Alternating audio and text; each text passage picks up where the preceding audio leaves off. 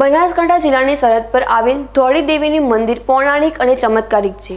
ગ્રામજનો તેમજ વડીલોના જણાવ્યા અનુસાર આ મંદિર નવસો પચાસ વર્ષ જૂનું છે. રોચક ઇતિહાસ તેમજ પૌરાણિક કથા સાથે જાણો ધોળી દેવીના મંદિરનો ઇતિહાસ. ભારતની ભૂમિના ખૂણે ખૂણે ઇતિહાસ છુપાયેલો છે. પૌરાણિક મંદિર, ઇમારતો અને જૂના બાંધકામ આજે ભારતની કલા સંસ્કૃતિના દર્શન કરાવે છે. બનાસકાંઠા જિલ્લાની સરહદ પર આવેલા ધાનેરા તાલુકાના છેલ્લા ગામમાં એવા વાસણ ગામની નજીક રાજસ્થાન રાજ્યના હર્ષવાળા ગામમાં ધોળી મંદિર આવેલું છે. જે સમયે ભારત દેશ પર મુગલો, અંગ્રેજો અને રાજાઓનું શાસન હતું, એ સમયકાળ દરમિયાન ધોળી મંદિર પાછળ રોંચક ઇતિહાસ છુપાયેલો છે. ગુજરાત તેમજ રાજસ્થાનના રાજ્યની સરહદ પર આવેલા હર્ષવાડા ગામની ઉત્પત્તિ થાય એ પહેલાંથી અહીં થોડી દેવી માતાની મૂર્તિની સ્થાપના થયેલી છે. ગ્રામજનો તેમજ મંદિરના પૂજારીના જણાવ્યા અનુસાર અંદાજિત નવસો પચાસ વર્ષ પહેલાં આ મૂર્તિ છે. મુગલોના શાસન વખતે ધોળી દેવીના મંદિર પર હુમલો થતાં એ સમય દરમિયાન મૂર્તિ ખંડિત પણ થઈ હતી. લોકોની આસ્થા સાથે જોડાયેલી ધોળી દેવીના મંદિર લોકો દૂર દૂરથી આવતા હોય છે. જે પ્રમાણે ગામના વડીલો ધોળી દેવીના મંદિરના ઇતિહાસ વિશે વર્ણવેલી વાત આજે પણ ગામના લોકો એ જ ઇતિહાસને કહી રહ્યા છે. અંગ્રેજોના સમયકાળ દરમિયાન અંગ્રેજો પણ ધોળી દેવીના મંદિરે દર્શન કરવા માટે આવતા હતા અને આજે પણ સાચા મન અને વિશ્વાસ સાથે કરેલી મનોકામના પૂર્ણ થતાં ભક્તો માં ધોળી દેવી માટે આસ્થા દિવસે દિવસે વધી રહી છે. દરેક જાતિના ધર્મના લોકો અહીં દર્શન માટે આવે છે. સાંભળો મંદિરના પૂજારી નારાયણભાઈ ગોસ્વામી મંદિરના ઇતિહાસને લઈ શું જણાવી રહ્યા છે? જય માતાજીની ધોળદેવી મંદિર ગુજરાત રાજસ્થાન સરહદ ઉપર.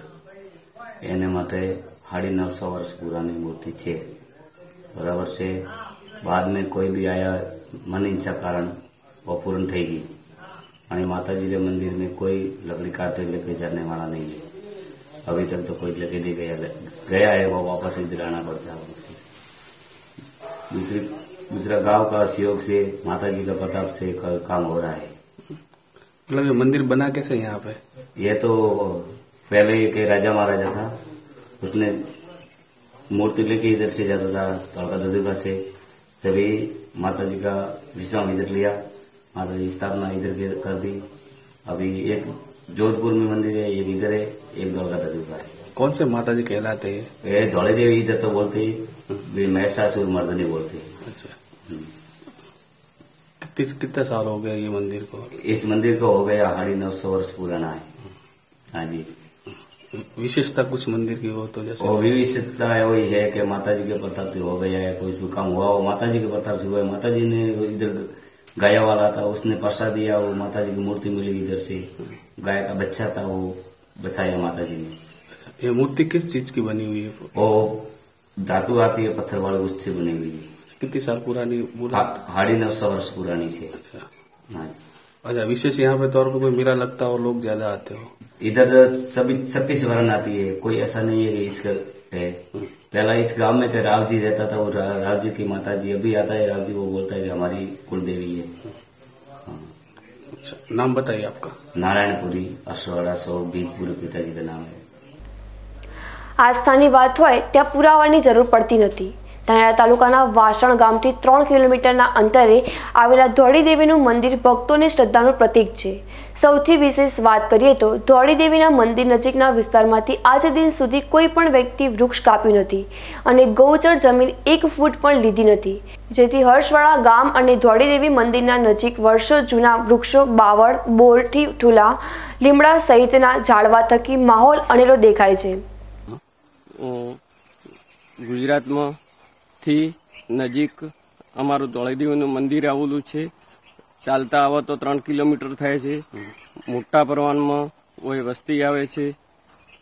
પાંચસો વર્ષ નવસો વર્ષ જૂનું મંદિર છે. શું શું વિશેષતા મંદિર? કેમ ધોળીદેવી નામ પડ્યું? એવું શું કારણ?